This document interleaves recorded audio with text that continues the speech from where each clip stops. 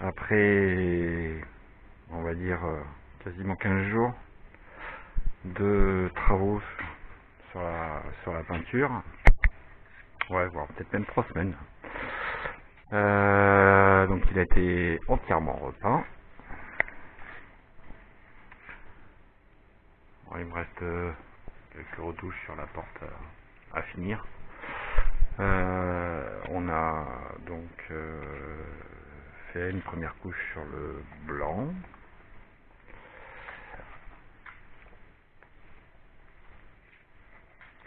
Et donc euh, après la deuxième couche avec un marron chocolat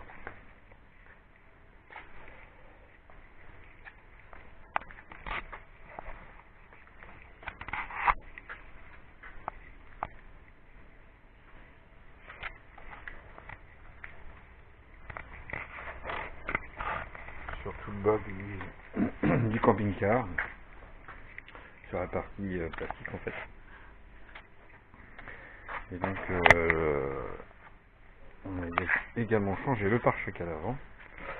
Alors le pare-choc, la petite explication, euh, à la base on avait un, pare-choc d'origine J5 euh, en métal, hein, où le pare-choc était complètement tordu sur changer de pare-choc. euh, donc euh, évidemment, pas besoin de vous dire que de trouver un pare-choc euh, qui soit un peu plus moderne que l'origine du, du J5, ça n'a pas été simple.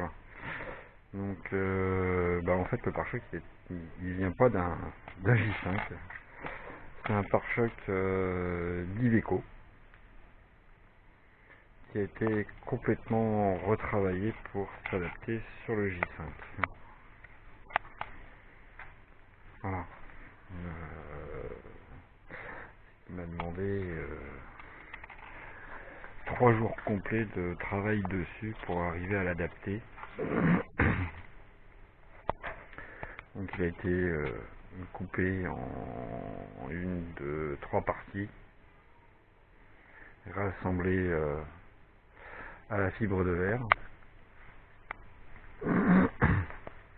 Donc voilà. Mais bon, euh, par perso, je- j'aime bien le résultat, il est sympa. Ça lui donne un, un petit look plus moderne. Voilà, donc il a été peint aussi en chocolat.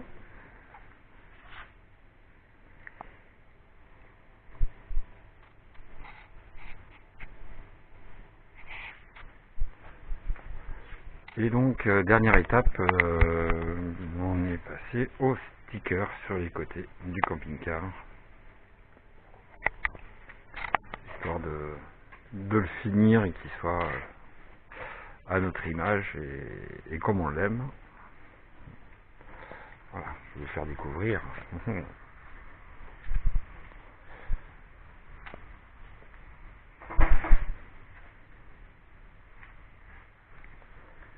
Et voilà.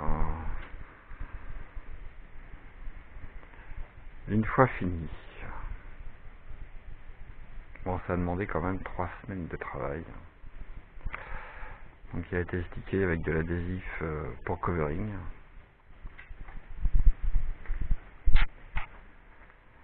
Voilà, ce qui permet de d'adapter complètement en fait la- l'adhésif euh, à la surface du camping-car. Je sais pas si on peut voir.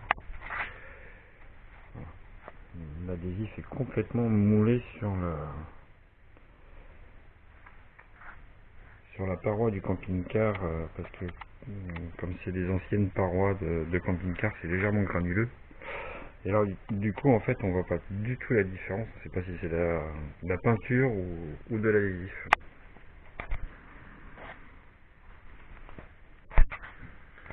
C'est plus flagrant. Voilà. Moulé. Toute cette partie-là aussi, sur les angles.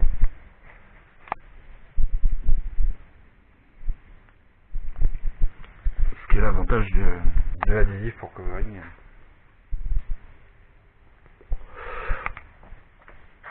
Voilà, le rouge, pareil, moulé à la porte.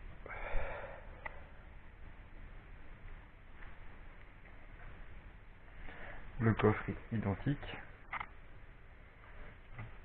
En fait, tout ça, c'est pas de la peinture, c'est euh, de l'adhésif euh, de covering.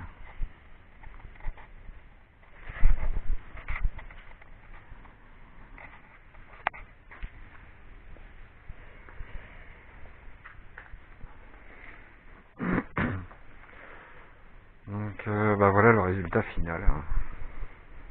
Au moins de l'extérieur. Maintenant qu'il est étanche, je vais pouvoir me réattaquer à l'intérieur pour pouvoir le finir.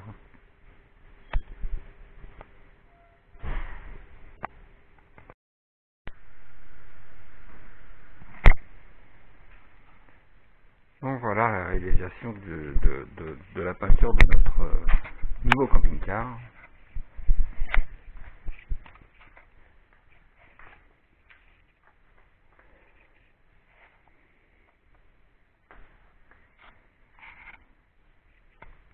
Dessiné euh,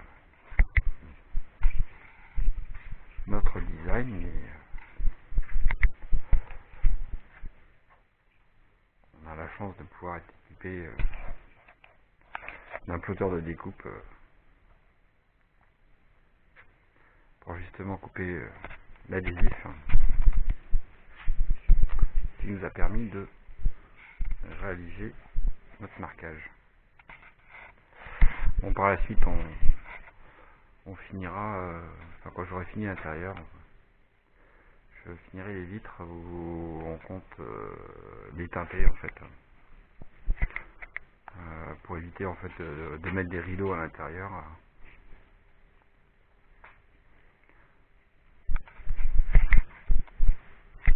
On teintera toutes les vitres. On pourra nous voir de l'intérieur, mais euh, de l'extérieur, on ne pourra pas voir l'intérieur. Je vais essayer de vous montrer l'arrière. Il n'y a rien d'extraordinaire. Voilà, vous voyez juste le, bas en fait, euh, qui est pour le moment marron. On va rajouter deux trois petites choses derrière. Je vous montrerai. La vitre euh, sera mise avec un micro perforé avec un dessin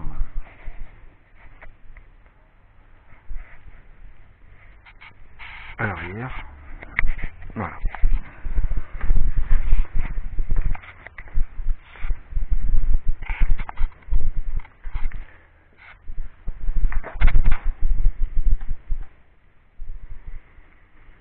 le résultat après euh, bien trois semaines de travail euh, rien que sur la peinture.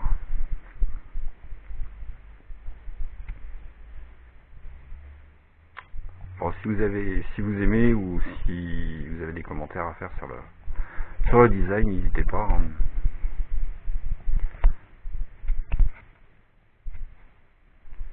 Et puis euh, un petit pouce sur toujours bienvenu. Voilà. Ben, à bientôt pour une prochaine vidéo. Voilà, où on passera euh, certainement euh, à l'intérieur. Parce que lui euh, est resté en suspens. Donc il falloir continuer. Allez, salut à tous